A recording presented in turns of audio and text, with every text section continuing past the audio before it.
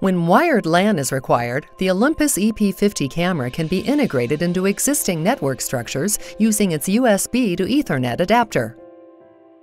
In LAN mode, the Olympus EP50 camera can be fully controlled using the EPView app for iOS and Android mobile devices or EPView for Windows on laptops and PCs.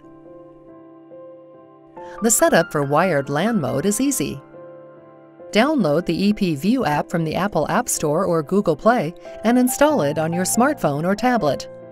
Or download EPView for Windows from the Olympus Life Science website and install it on your Windows-based laptop or PC. Plug the supplied USB to Ethernet adapter into each camera's USB port. Connect a network cable to each camera's Ethernet adapter and the other end of the cables to a router hub.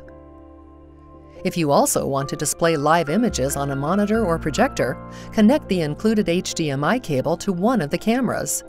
Then plug in the power supply cords and turn on the Olympus EP50 cameras. Configuration options range from a one-camera setup to a predefined configuration of several cameras, which can be prepared by your IT department.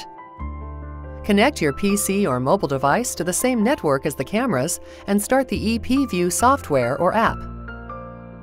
Normally, the live image of each camera connected to the network is displayed automatically as a thumbnail in the camera list.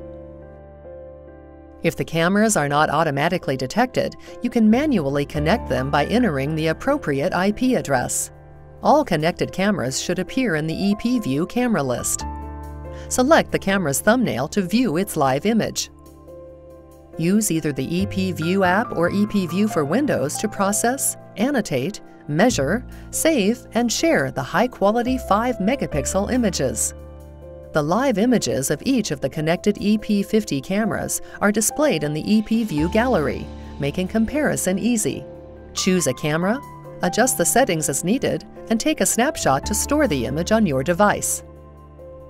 Olympus EP50 digital camera for engaging education in microscopy.